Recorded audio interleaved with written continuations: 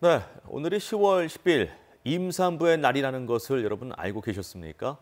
예, 임신을 기피하는 사회 분위기 때문에 출산율이 감소하는 추세라고는 하지만 유통업계는 예외가 되고 있다고 하는데요. 잘 들여다보면 그럴 만한 이유가 있다고 하는군요. 김상진 기자입니다. 백화점의 고객 상담실에서 근무하는 한옥연 씨. 둘째를 가진 지 8개월째지만 여전히 본인 일을 충실히 해내고 있습니다.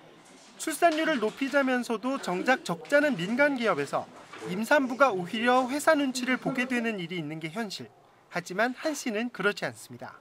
이제 오히려 아무래도 백화점이다 보니까 여성들을 위한 복지 제도가 워낙 좋다 보니까 저희도 이제 그런 출산에 대한 이런 두려움이나 이런 부담감이 없기 때문에 오히려 더 뭐 좋은 것 같습니다. 이 백화점은 올 3월부터 직장 어린이집도 운영하기 시작하며 부모들의 큰 호응을 받고 있습니다. 육아에 대한 부담이 크게 줄어들면서 둘째나 셋째를 갖는 부모들도 늘어났습니다. 워킹맘들이 일을 하면서 어, 아이들 때문에 집중을 하지 못하는 경우가 종종 있는데요. 직장인 어린이집이 생기면서 그런 걱정을 좀 덜 수 있지 않나.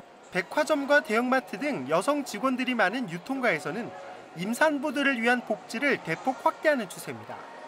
급여 인하 없이 임산부들의 단축 근무를 의무화하고 최대 9개월의 출산 휴직은 물론 출산 전후로 120일까지 휴가를 쓸 수도 있습니다. 여성 직원들 종사 비율이 매우 높다 보니 어, 그분들이 경력 단절이 일어나지 않고 그 지속해서 일을 할 수 있도록 그런 업무 환경 어, 개선이 중요하다는 판단하에 어, 다양한 복지제도 정책을 실시하고 있습니다.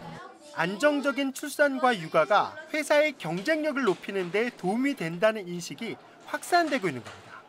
출산율 감소와 여성의 경력 단절은 사회적 문제로 부각된 지 오래있지만 여전히 대책은 겉돌고 있습니다. 임신한 여성이 편하게 일할 수 있는 데 주력하고 있는 최근의 유통업계 분위기에서 어느 정도는 해결의 실마리를 찾을 수 있을 것 같습니다. KNN 김상진입니다.